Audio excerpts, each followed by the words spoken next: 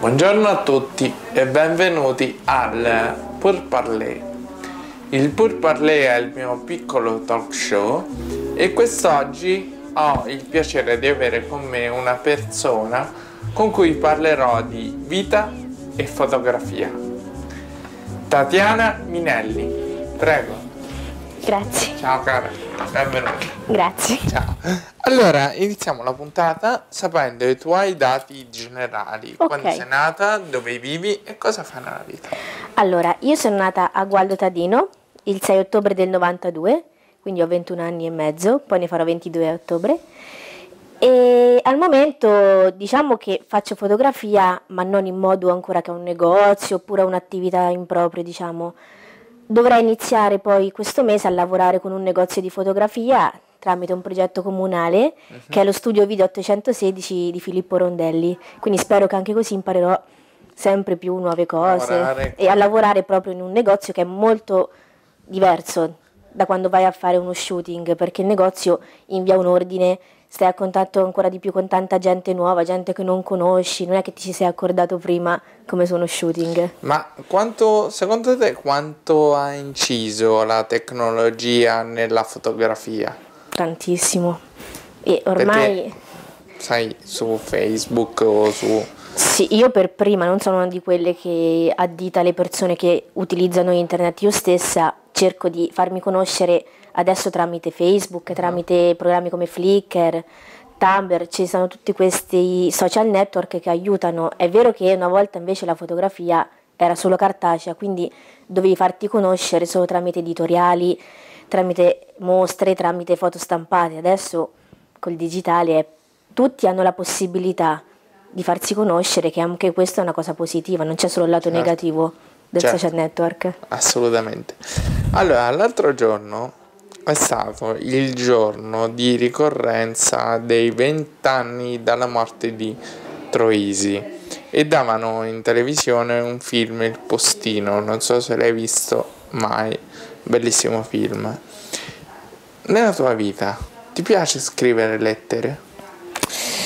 Oddio, scrivere mi piace, Scrivere? lettere mm, sì e no, Son- sono un po' pigra, quindi se mi ci metto sì, ho scritto anche lettere, anche perché ho conosciuto persone che mi abitavano lontane, con cui dovevo rimanere in contatto solo cartaceo, persone che anche erano in altre parti del mondo, quindi in quei casi quando sono veramente isolate solo scrivere una lettera.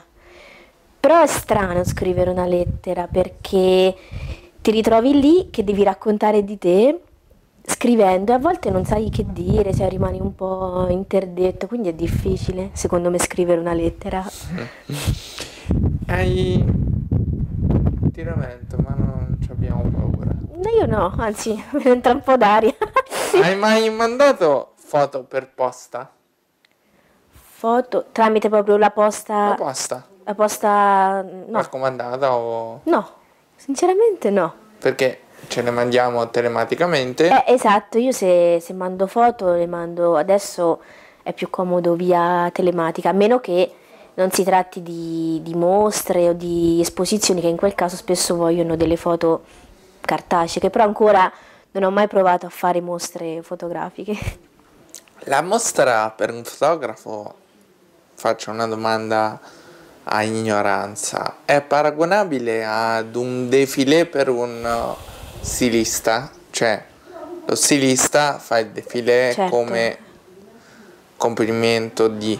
Sì, Eh, il fotografo fa una mostra come raggiungimento di un traguardo. Eh, è un po' complicato perché le mostre, le mostre fotografiche spesso riguardano l'arte, quindi io vedo molti fotografi che espongono che fanno delle foto molto particolari, quindi vanno al di là della moda. Poi ci sono invece fotografi che riescono ad unire arte e moda e in quel caso quindi si crea qualcosa che è anche idoneo a una mostra fotografica. Io ho visto che le mostre fotografiche di moda spesso le fanno persone che hanno già raggiunto un livello molto alto, quindi sono mh, fotografi di moda, di pubblicità veramente tanto conosciuti e allora per far vedere le loro opere da quelle più recenti a quelle più antiche espongono in giro per il mondo, però chi agli inizi a me piace moda comunque, quindi all'inizio è meglio decidere o se ti butti in foto di moda o in foto artistiche e poi semmai nel più là foto di moda. moda, anche se mi piace ogni tanto sperimentare con Photoshop, creare delle foto dei mondi che sono solo miei.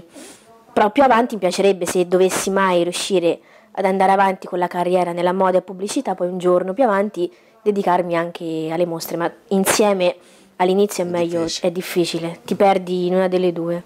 Immagino. Allora, una lettera, comunque sia, può cambiare i ragionamenti della persona rispetto ad un sms? Sì, secondo me sì, perché secondo me la lettera è più personale. Nel senso, l'sms la vedo molto più impersonale, quindi ti ci metti, ma ti ci metti in modo più leggero. Su una lettera ti ci metti, anche se devi solo scrivere ciao come stai, cominci a pensare, dici no, basta, gli dico questo, gli racconto quest'altro su un sms, dici vabbè, glielo mando sul prossimo, cominci Buona, a pensare, è più superficiale, secondo me la lettera è molto molto più personale. E anche questo mi permetto di dire il bello, sì. credo, sì. credo. La tecnologia scusa mi sono sbagliato qui a scrivere nessun problema consegnava posta a Pablo Neruda e il postino nel film ok scrittore di poesie mm-hmm. hai mai scritto una poesia nella tua vita?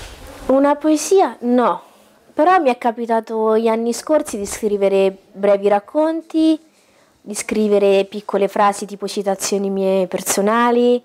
Una volta mm, ero su un sito che credo ci sia ancora, Pensieri e Parole, e ci mettevo le, le frasi che, che creavo io. Però scrivere mi piace molto, però con gli anni forse l'ho persa un po', non, non mi ci sono più messa, mi sono dedicata alla fotografia, quindi è passata un po'. Però l'animo ce l'ha qualche volta. Possono quindi... trasmettere quanto una poesia delle foto? Sì, anzi io mi è capitato di fare una volta un progetto fotografico ispirato a una poesia di una ragazza che è di Milano.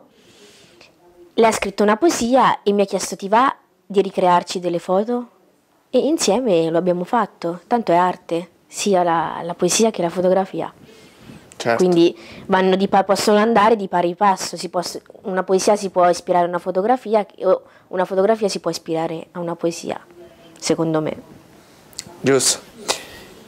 Il bianco e nero è a grande trasmissione? Sì. Di emozioni? Io, se, di... certo. A me piace tanto il bianco e nero. In certe foto, se tu le vedi a colori o in bianco e nero, cambia. la foto cambia non lo so, il bianco e nero mi dà più l'idea di, di, vissuto, di un momento intimo. Se faccio una foto a una ragazza in un momento che è come se sembra un momento suo, probabilmente poi la, la riconverto in bianco e nero perché è un'idea più, più di anima, diciamo, il bianco e nero. Sì, ma anche perché la fotografia all'inizio era in bianco e nero e il fatto che fosse in bianco e nero secondo me è una cosa che si ripercuote anche adesso perché tu vedi le foto di una volta con quel bianco e nero che non è un bianco e nero di Photoshop, quindi è tutto elaborato, è, è un'altra cosa, secondo me. Comunque, parlando di grande trasmissione come formato, nella vita ti piace attribuire alle persone la definizione di un grande? Ah, quello è un grande? Quello è un grande. Sì. Sì, mi capita.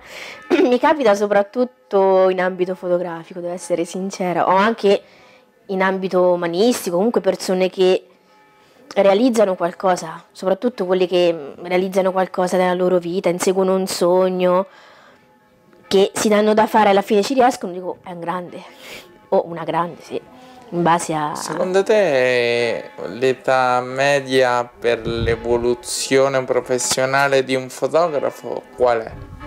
L'età media. La cosa bella della fotografia... Mi stanno suonando, ma non è un problema. Mi, mi, mi ricordano che è.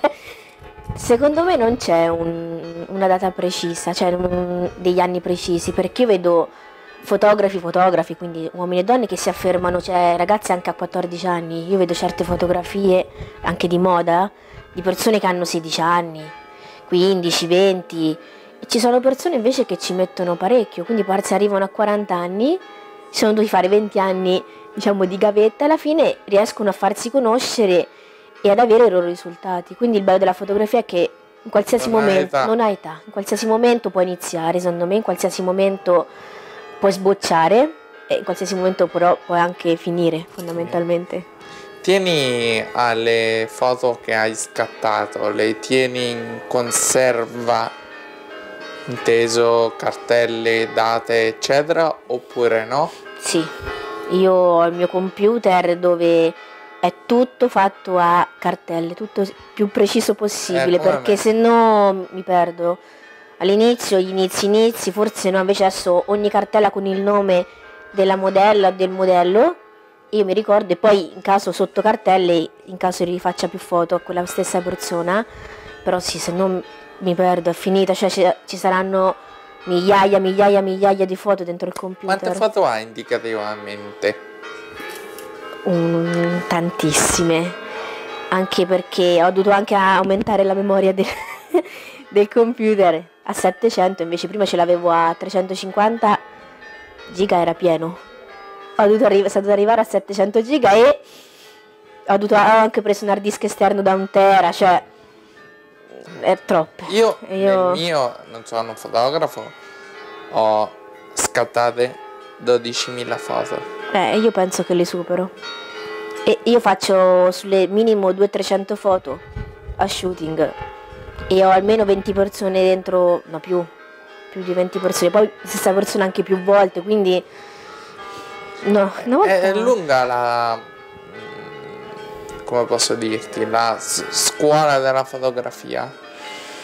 La teoria fotografica. Allora, la fotografia è veramente tanto complessa perché ha una tecnica dietro che veramente ci devi stare a studiare, che sia, io per esempio sono autodidatta, quindi imparo da sola, però anche se uno fa delle scuole ci metti anche tre anni comunque almeno per finire una scuola di fotografia, perché si va dalla tecnica alla pratica.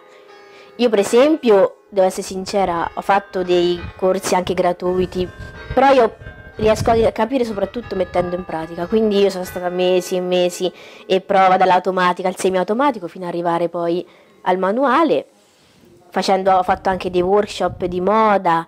Mi piacerebbe fare dei corsi o una scuola di fotografia. Il problema è che pubbliche non ce ne sono ancora qui in Italia, quindi costano veramente migliaia e migliaia di euro anno. Quindi in pochi veramente riescono a farci. Sarebbe interessante una specializzazione delle superiori nella fotografia. La voglia. Che poi ci sono, ci sono comunque licei, il liceo artistico, a volte sì, anche la fotografia, però ovviamente a un livello un po' più... non è una specializzazione massima, uh-huh. ci vorrebbe proprio una, un'università secondo me della fotografia perché si fa solo se uno fa cinema, però si fa sempre in minima parte comunque, quindi dovrebbe essere proprio una specializzazione proprio fotografia, però aperta a tutti, che ci sia un esame o meno, però che sia aperta, non che sia privata, secondo certo, me. Certo. La fotografia comunque è bella anche perché è un linguaggio universale.